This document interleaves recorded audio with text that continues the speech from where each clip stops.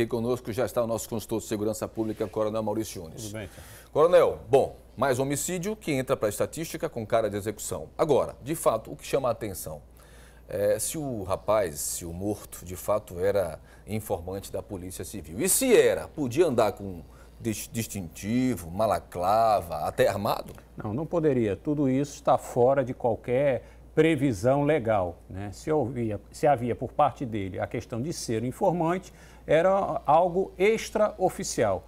Tanto a Polícia Civil ou a própria Secretaria de Segurança jamais tem nada a ver com a história. Era algo que ele é, fazia de livre espontânea vontade em prestar tais informações após devida apuração que vai haver por parte da, do DHPP, que é a Delegacia de Homicídio, e averiguar quais foram as circunstâncias. O que a gente deixa sempre em aberto são a, a questão dos homicídios.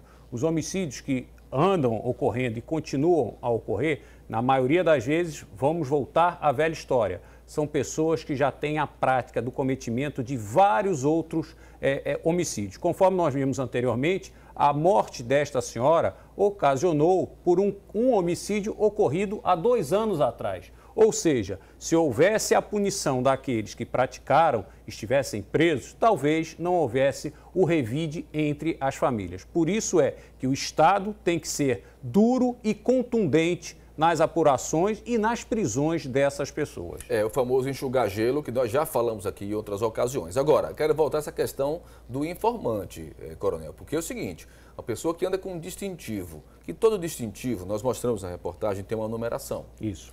Isso é o registro do distintivo. Para saber quem é o policial responsável. Nós entramos em contato hoje pela manhã com a Secretaria de Segurança Pública, ninguém quis se manifestar sobre o assunto. Né? Essa coisa está mal contada, está mal informada, porque você andar por aí com distintivo oficial da Polícia Civil, numerado, né? com malaclava, né?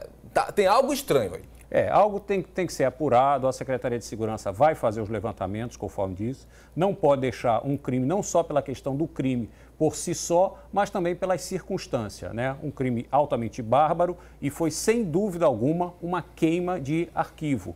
Né? O Jean teria muitas informações a repassar para a, a, Secretaria de Segurança Pública e isso fez com que ele perdesse a sua vida. A investigação deve ser rigorosa, deve buscar os autores, até porque ficou público e notório a comemoração desses meliantes através das redes sociais. Nós vamos ter daqui a pouquinho a presença do Tenente Coronel eh, Vivaldi aqui em nossos estúdios para falar um pouco sobre essa questão dos homicídios, em especial em São Cristóvão. Mas aí eu vou, eu vou lhe fazer uma pergunta que eu vou fazer exatamente a ele. De quem é a responsabilidade, Coronel, senhor aí tem 30 anos de experiência, ex-comandante da Polícia Militar. Afinal de contas, cabe a quem combater os homicídios? Polícia Militar ou Polícia Civil? Bom, a ação das duas é importante, mas não é responsabilidade da Polícia Militar. Até porque quem tem a intenção de cometer um homicídio, ela sempre o fará. Só se consegue combater o homicídio buscando as investigações, identificando e prendendo a simples presença da polícia militar fazendo policiamento ostensivo, ela vai simplesmente adiar o cometimento do crime, porque quem quer cometer o homicídio irá fazê-lo, ou hoje ou amanhã, em qualquer momento. Então, o que se precisa é ter a investigação e ter também essas pessoas presas, retirando elas, até porque a maioria dos homicidas não são homicidas de um único homicídio. Nós temos dois, cinco, oito, dez homicídios praticado pelas mesmas pessoas. O porquê que elas continuam em liberdade? Esse é o questionamento e a pergunta que fica para toda a sociedade. E a população que, que se transforma em refém de tudo isso, né? E não consegue entender aí essa podendo escalada até, da violência. Podendo até ser vítima, Com né? Com certeza. Coronel Maurício Nunes, prazer revê-lo, meu irmão? Um grande abraço para o senhor, tá?